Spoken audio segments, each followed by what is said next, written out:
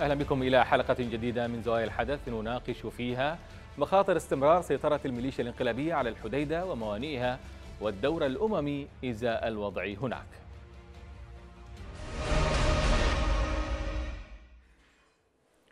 قال المتحدث باسم الحكومة راجح بادي إن اتفاق الحديدة في خطر بسبب تعنت ميليشيا الحوثي وتساهل الأمم المتحدة. أوضح بادي في تصريحات نقلتها صحيفة الشرق الأوسط أن الأمم المتحدة لم يكن لها دور فاعل ولا موقف حازم تجاه خرقات الحوثيين خلال الفترة الماضية. وأشار إلى أن ميناء الحديدة ما زال منفذا للحوثيين لتهريب الأسلحة والممنوعات دون رقيب. وكان وكيل أول محافظة الحديدة وليد القديمي قد كشف نهاية يناير المنصرم عن وصول أسلحة إيرانية حديثة إلى جماعة الحوثي عبر ميناء الحديدة. أوضح القديمي في تغريدة على صفحته بتويتر أن الحوثيين استقبلوا كميات سلاح وصواريخ إيرانية نوعية حديثة عبر ميناء الحديدة. وقال إن تحرير الحديدة وموانئها من قبضة الحوثيين سيمنع وصول أي دعم عسكري إليهم وسينهي انقلابهم في فترة وجيزة. عن حضور استمرار سيطرة الميليشيا الانقلابية على الحديدة وموانئها وموقف الحكومة وتحالف من تراخي الدور الأممي وكيف يمكن تدارك ذلك. سنناقش ذلك بعد مع ضيوف الحلقة بعد هذا التقرير. الحديدة في خطر. تقول الحكومة في إشارة للاتفاق الخاص بالمدينة وموانئها لكن ما الذي يجعل هذا الاتفاق في خطر؟ تجيب الحكومة على لسان متحدثها الرسمي ميليشيا الحوثي والأمم المتحدة. فوفق تصريحات راجح بادي المتحدث باسم الحكومة فإن تعنت ميليشيا الحوثي واستمرارها بارتكاب الخروقات المرتبطة بوقف إطلاق النار يعرض اتفاق ستوكهولم للانهيار فالحوثي لم يفي بالتزاماته وتعهداته حيث لا يزال يتحكم بالمدينة والموانئ رغم مرور أكثر من سنة على الاتفاق الدولي الموقع في نهاية 2018 الأمم المتحدة تعد سببا رئيسيا في فشل الاتفاق الأممي فهي بحسب المتحدث الحكومي تساهلت مع خروقات الحوثي وتغاضت عن انتهاكاته ولم تتخذ موقفا حازما تجاهه ولم تفعل دورها المنوط بها حيث لم تسعى لأخذ صلاحياتها التي منحت لها بموجب اتفاق السويد والذي يخولها لإدارة الموانئ وتفتيشها والإشراف على المؤسسة العامة لموانئ البحر الأحمر. هذا التساهل الأممي كما هو اتهام الحكومة جعل من ميناء الحديدة منفذا لتهريب الأسلحة الإيرانية إلى ميليشيا الحوثي وممرا لدخول المساعدات الإنسانية للحوثي بدون رقابة فعلية تضمن وصولها للمحتاجين لها. ومع ذلك فإن المبعوث الدولي مارتن جريفيث رغم تساهله مع الحوثي إلا أنه بنظر ناقدين لأدائه لم ينل رضا الحوثيين الذين اتهموه بعدم الحيادية وانحيازه لما يسمونه بدول العدوان وهو ما يضع الدور الأممي محل شك وغموض في آن واحد. إذا ولمناقشة هذا الموضوع معنا من الرياض المتحدث باسم الحكومة راجح بادي مرحبا بك مرحبا بك معنا سيد راجح بداية سيد راجح ما حجم الخطورة التي يمثلها استمرار بقاء الحديدة أو ميناء الحديدة تحت سيطرة الميليشيات الانقلابية؟ مساء الخير سيدي الكريم بداية لابد من توضيح مهم وأنه هذا التعليق الذي صدر عن الحكومة لصحيفة الشرق الأوسط هو يعني تعليق على على الإحاطة التي تقدم بها المبعوث الأممي السيد مارتن جريفيتس في جلسة مجلس الأمن الأسبوع الماضي وهو شخصيا تحدث إنه وضع اتفاق الحديدة أو ما يسمى باتفاق ستوكهولم يعيش في وضع خطر.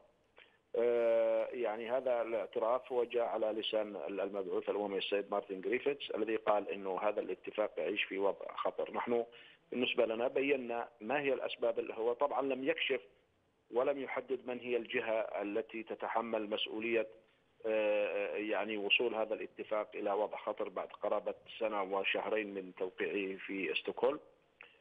نحن كنا نتمنى من السيد مارتن جريفيتس أن يحدد الجهة التي التي التي يعني التي يعني التي جعلت هذا الاتفاق يمر بمرحلة خطرة حسب وصفه وكنا نتمنى أن يصارح المجتمع الدولي والأمم المتحدة بمن هو السبب الذي يتحمل من هي الجهة التي تتحمل هذه المسؤولية الكاملة؟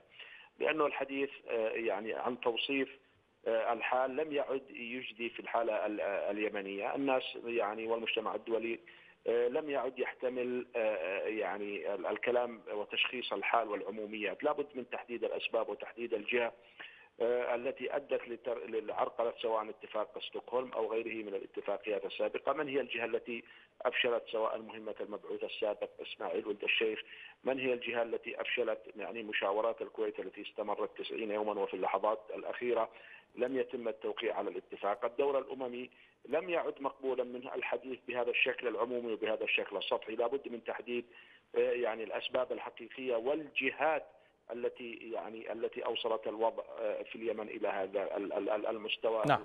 الخطير. نعم، تفضل بالبقاء معي سيد آه، راجح.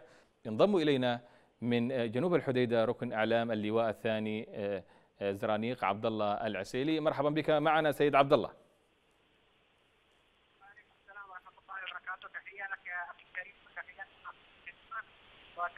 لضيفك الكريم، هل تسمعني تماما؟ نعم الآن نسمعك جيدا، أنت معنا على الهواء سيد عبد الله. بداية سيد عبد الله أه، حدثنا عن طبيعة الخروقات الحوثية لاتفاقات التهدئة في الحديدة. حقيقة وأن تعلن وقف إطلاق النار في الحديدة. إلى اللحظة هذه فيها أنا لم تلبس لا ولا دقيقة واحدة ولا ساعة واحدة إطلاق صواريخ يوميا وكل ساعة أنا منازل الواصلين نعم سيد نعم نعتذر عن مقاطعتك سيد عبد الله العسيلي. سنعاود الاتصال بك لكي يتم تحسين الصوت. نعود إلى ضيفنا من الرياض راجح بادي. سيد راجح يعني أشرت إلى أن الأمم المتحدة أو الجهات الدولية لم تحدد الجهة التي تقف خلف الوضع الذي وصل إليه اليمن. هل لماذا لا تأخذ الأمم المتحدة آه، آه، هذه آه، التحذيرات الحكومية بمحمل الجد برأيك.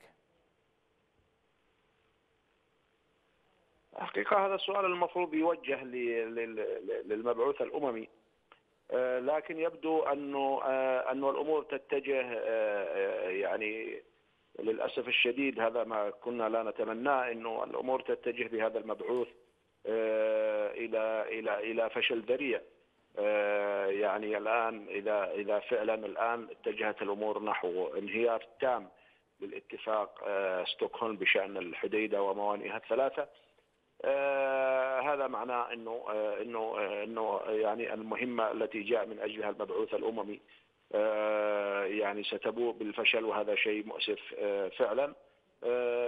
وقد يعني يكون أمام حقيقة صادمة المجتمع الدولي والأمم المتحدة أن مبعوثها إلى اليمن آه، لم يحقق شيء. كان هناك سقف توقعات كبيرة ورفعها المبعوث الأممي آه، سواء في جلسات مجلس الأمن المتعاقبة أو في إحاطاته المتكررة لمجلس الأمن أن الأمور تسير بشكل جيد. آه، وكان هناك احتفال كبير يعني بحضور الأمين العام المتحدة في توقيع اتفاق ستوكهولم. عندما ينهار كل هذا بالتأكيد ستكون المهمة آه، يعني بقية آه، الفترة للمبعوث الأممي ستكون صعبة وصعبة وصعبة جدا. آه، هو بالتأكيد الآن إنه كثير من الأطراف تحاول أن تتهرب من مسؤوليتها من فشل اتفاق ستوكهولم. ربما المبعوث الأممي يعني يحاول أن يلقي بالمسؤولية على الجنرال الهندي الذي هو يعني مسؤول الرقابة على على تنفيذ الاتفاق في في في في الموانئ. لكن في الأخير آه، المسؤولية ستكون آه، اولا واخرا على يعني على على على عاتق المبعوث الأممي الذي عليه الآن قبل أن أن أن يكون أن أن يكون الفأس في الرأس آه، أن يتحدث بشكل واضح وبشكل صريح ويتحدث من هو الذي أوصل هذا الاتفاق إلى وضع خطر، أنا كنت أتمنى أن أن أن يكون هناك سؤال مباشر للمبعوث الاممي داخل جلسة مجلس الأمن أن نعم. من يتحمل هذه المسؤولية آه، لوصول هذا الاتفاق الذي رعاه الأمين العام للأمم المتحدة آه، إلى هذا الوضع الحرج وهذا الوضع وهذا الوضع الصعب. نعم تفضل. نعم. هذه الكره الآن هي في ملعب الأمم المتحدة ومبعوثها الخاص.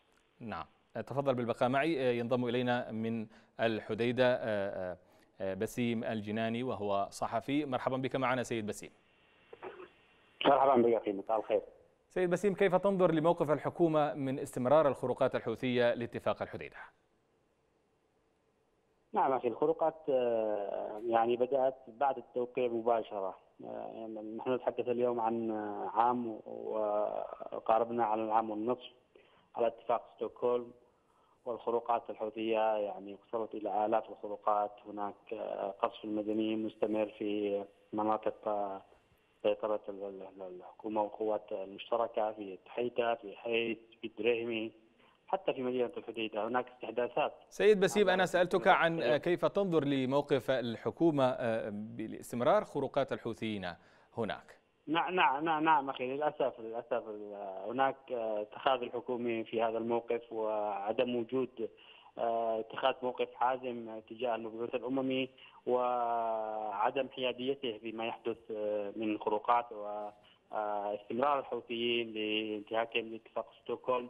هناك وكانها عبارة عن مقايضه يعني للأسف الحكومة دائما تحاول أن تمدد تحاول أن تعطي مزيد من الوقت لجريفيتس لتنفيذ وللأسف لكن هناك تعنت حوثي واضح. نحن نتحدث اليوم عن عدم السماح لمراقبين الدوليين بالوصول إلى نقاط المراقبة التي أنشئت منذ نوفمبر الماضي وعدم السماح للجنرال جوها بالوصول إلى تلك النقاط من وسط المدينة وكلها لا تتجاوز الكيلومتر واحد. معنى أن هناك يعني موقف حوثي واضح جدا وللأسف الأمم المتحدة تهاجم الموقف الحوثي باستمرار وفي ظل سقوط حكومي غير مبرر للأسف. آه اتفاق ستوكهولم حتى على مستوى المبعوث الأممي آه تحدث عن آه خروقات تحدث عن فشل وإن لم يكن بشكل علني لكن هناك فشل ذريع واضح. هناك تغيير لجنرالات واحد تلو الآخر.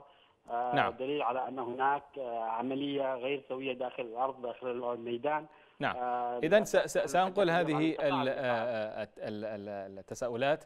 أو النقاط التي ذكرتها سيد بسيم إلى السيد راجح بادي المتحدث باسم الحكومة اذا مثل ما ذكر السيد بسيم أن هناك مسؤولية كبيرة تقع على الحكومة في مسألة التمديد للامم المتحدة في ملف الحديدة وتخاذل كبير وحتى إدارة هذا الملف كانت غير جيدة حتى لمصلحة اليمن واستعادة الشرعية واستعادة السلطة في محافظة الحديدة. هذه وجهة نظر الأخ بسيم لكن الواقع غير ذلك تماما. كان هناك يعني إدراك كبير من الحكومة الشرعية لأهمية التعامل مع الجهود الدولية فيما يتعلق بملف الحديده والموانئ الثلاثة التابعة لها. والآن يعني قبل عام ونصف ربما كان الكثير من الرأي العام العالمي يتجه نحو انه الحكومة هي من تريد الحرب في الحديده ومن تريد الدمار ومن تريد يعني التسبب في مجاعة للشعب اليمني. لكن الآن بعد هذا التعامل من الحكومة مع الأمم المتحدة ومع جهود المبعوث الأممي أصبح أمام يعني أصبح العالم يرى أنه ان ان الطرف الحوثي هو الطرف المعيق وهو الطرف الذي فعلا لا يريد سواء لموانئ الحديده الثلاثة أو لمدينة الحديده الأمن والاستقرار ولا يريد ويريد أن أن تظل هذه الموانئ مركزا لتصدير السلاح والخراب والدمار إلى إلى اليمن، أعتقد أنه يعني هذا إنجاز كبير أنه هذا التحول الكبير في الرأي العام الإقليمي والدولي تجاه هذه الميليشيات التي كانت ترفع يعني قبل عام ونصف من الآن صوتها عاليا أنه هناك هجوم على ميناء الحديدة وأن هذا سيتسبب نعم. في مجاعه كبيرة لأبناء الشعب الشعب اليمني، التعاطي الدبلوماسي يحتاج إلى نوع من النفس الطويل والحكمة وال وال والادراك وأنا أعتقد إنه استطاعت استطاع الفريق الحكومي سواء كان بقيادة اللواء صغير عزيز ثم بعد اللواء الذي خلفه في قيادة نعم تفضل بالبقاء معي سيد. أن يتعامل تعامل بحنكة وبقوة وبعدم تفريط في أي من القضايا الأساسية والرئيسية في هذا الملف الحساس والصعب. نعم تفضل بالبقاء معي. ينضم إلينا أو عاد إلينا من جنوب الحديدة من الميدان أيضا ركن إعلام اللواء الثاني زرانيق سيد عبد الله العسيلي. سيد عبد الله مرحبا بك معنا. حدثنا عن طبيعة الخروقات الحوثية لاتفاق التهدئة في الحديدة. نعم مرحبا بك أخي الكريم ومرحبا بكل المشاهدين ومرحبا بضيفكم الكريم. إذا سألتني عن الخروقات أخي الكريم منذ أن أعلن وقف إطلاق النار داخل مدينة الحديدة إلى اليوم هذا لم يلتزموا دقيقة واحدة بوقف إطلاق النار. هناك مئات الصواريخ والقذائف على منازل المواطنين كلها أغلبها؟ هناك يوميا ضحايا بالعشرات من المواطنين. أيضا هناك إطلاق صواريخ على مواقع للقوات المشتركة في حيس والجبلية والتحيتة والدريهمي ومنظر وكيلو 16 أيضا هناك تفخيخ من جديد بعد هذه الكميات الكبيرة من الألغام الذي كنا قد تجاوزناها ونزعناها. الآن أعادوا من جديد زراعة الألغام. وحفر الخنادق وأعادوا تجنيد الأبطال من جديد والزج بهم. هم يموتون يوميا بالعشرات بالمئات. لم يلتزموا ولا دقيقه واحدة نحن لا نعلم ما هذا الصمت. لكن كيف كيف أنتم كمراقبين سيد سيد عبد الله كيف أنتم كمراقبين تتعاملون مع هذه الخروقات؟ وبالتالي يتم الرفع بها رسميا إلى اللجان الانتشار الأمني هنا. نحن نرصد نحن نرصد نحن نرصد يوم نحن نرصد يوميا مئات من الخروقات نرفعها إلى وسائل التواصل وإلى القنوات وإلى الجهات المختصة أيضا ولكن صراحة لم يكن هناك أي تجاوز ضد هذه الخروقات المستمرة. صمت عممي وصمت التراخي من من على من يقع التراخي؟ يعني هل هل هو التراخي تقصد أن التراخي يأتي من الأمم المتحدة المشرفة على الوضع هناك؟ نعم نعم نعم أخي يا أخي يا أخي الكريم يا أخي الكريم هذه هذه هي كلها جاءت من مسائل الأمم المتحدة بعد أن كانت القوات المشتركة على بوابة الشام وهي البوابة الأخيرة لمدينة الحديدة وكاد أن يطبق الحصار على مدينة الحديدة وقد فر كل من داخل مدينة الحديدة من ميليشيات الحوثي لولا تدخل الأمم المتحدة. وإيقاف المعارك تحت مسميات عدة منها مشاورات سلام أو اتفاق ستوكهولم أو ما شابه. هي لم تكن صراحة كما قالت هي كانت لصالح الحوثيين حيث أنهم أعادوا ترتيبهم من جديد ترتيب صفوفهم من جديد واعادوا تجنيد الاطفال واعادوا زراعه الألغام واعادوا تعويض أخطائهم التي خسروها من جديد وعادت المعارك من جديد. اليوم الحوثي يصعد عسكريا في حيث اليوم حيث تتعرض لقصف ممنهج كذلك الدريهمي كذلك مناطق التحيثة كلها. هناك عشرات القتلى والجرحى من صفوف المواطنين أغلبهم أخي. نعم تفضل بالبقاء معي. نعود نعم. إلى السيد راجح بادي. سيد راجح ما هو السقف الحكومي في ظل استمرار التراخي الأممي إن صح الوصف إذا إذا الخروقات الحوثية في الحديدة؟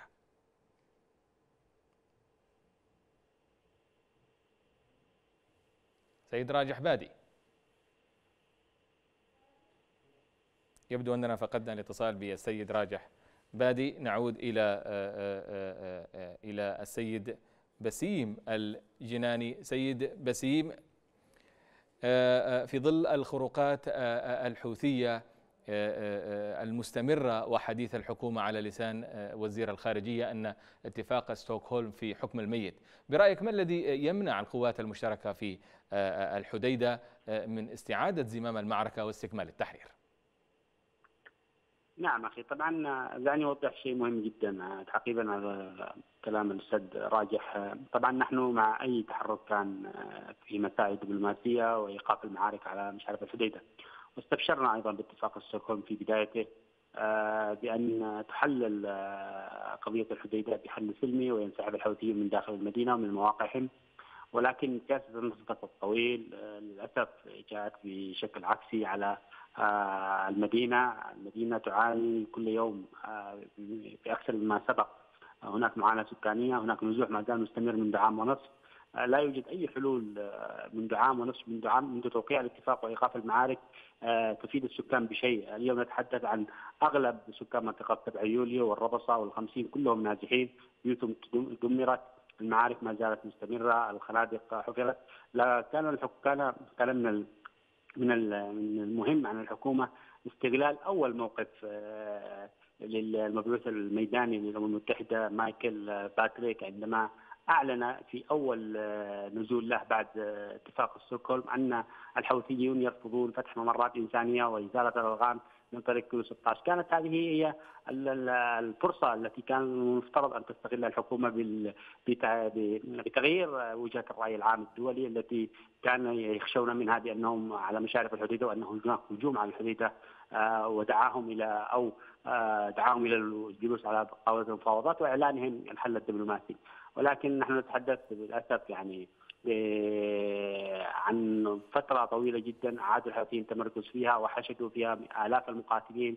اليوم المدينة الحديدة إذا دخلت في معارك سيكون هناك كارثة إنسانية كبيرة جدا بعكس ما كان من السابق. ستدمر أغلب المنازل. الحوثيين اليوم يفخخون كافة الطرق المؤدية إلى المدينة كافة المداخل الألغام والخنادق بشكل يومي يتم استحداثها. أعتقد بانه التصريح كما قلت التصريح الوزير وزير الخارجية أن اتفاق ستوكهولم ميت ليس تصريح رسمي، الإعلان عن إنهاء الاتفاقية هو يعني هو الذي يحدد مصير هذا الاتفاق ويحدد ما إذا كان هناك استمرار للمفاوضات في هذا الاتجاه. اليوم نحن نتحدث عن شهر ونصف عن إيقاف حتى المفاوضات مشاورات ضباط الارتباط المرتبطين بلجنة إعادة الانتشار في المدينة، لا يوجد أي جديد منذ شهرين أو ثلاثة أشهر في هذا الجانب. نحن نتحدث منذ نوفمبر الماضي وهناك نقاط خمس نقاط نصبت في مدخل مدينة الحديدة. يتواجد بها ضباط ارتباط من الحوثيين والقوات المشتركة. ولن يستطيع اليوم أي مندوب أو ضابط ارتباط تابع للأمم المتحدة الوصول إلى هذه النقاط أو السماح له بالوصول أو نعم. فتح الطرق وازاله الالغام من قبل الحوثيين حتى يتم عملية المراقبة وتثبيت وقت إطلاق النار. نعم عبد الله العسيلي ما الذي يعنيه لكم استمرار الصمت الأممي للخروقات المتواصلة من الجانب الحوثي؟ يا أخي الكريم هناك صمت عمومي واضح وصريح وهناك أيضا تقاعس من قبل الحكومة، أنا لو أحدثك أخي الكريم كما تحدث الأخ بسيم الجناني نعم أشكره. هناك المدينة مهددة بكارثة إنسانية حيث أنهم فخخوا الأماكن الخاصة والعامة ومنازل المواطنين، يا أخي الكريم أنا قد حضرت معهم في إحدى تنصيب نقاط المراقبة لوقف إطلاق النار وخرجت الأمم المتحدة تسير على خطاهم، تخيل أنها تمشي خلفهم وعلى خطاهم من المتفجرات والألغام المزروعة هناك. وكانت وكانوا كانوا كانوا يتعاملون معها وكأنهم زملاء وكأنهم أصدقاء. هي لم تتجاوب مع الحكومة صراحة. نحن نطالب بإعادة تفعيل كل الجبهات وإنهاء هذه هذه المشكلة عسكريا. في مثل هذه الحالة نعم. هو السلاح هو الطريق الوحيد إلى السلام أخي الكريم لو أقول لك انه يوميا عشرات المواطنين والجرحى في ظل غياب تغطيه إعلامية لا أحد ينظر إليهم ولا يعلم ولا يعلم بحالهم، المواطنين يموتون يوميا بهذه القذائف وهذه الرصاصات والقناص نعم. المتمركزة وأيضا الألغام التي أعادوا زراعتها من جديد بعد أن كنا وقلنا قد تخلصنا منها. شكرا لك السيد عبد الله العسيلي. كنت معنا من جنوب الحديدة ركن إعلام اللواء الثاني زرانيق. وأيضا الشكر موصول للسيد راجح بادي المتحدث باسم الحكومة. كان معنا من الرياض. وأيضا للسيد بسيم الجناني كان معنا من الحديدة وهو صحفي. والشكر موصول لكم مشاهدينا الكرام. على المتابعة وإلى اللقاء.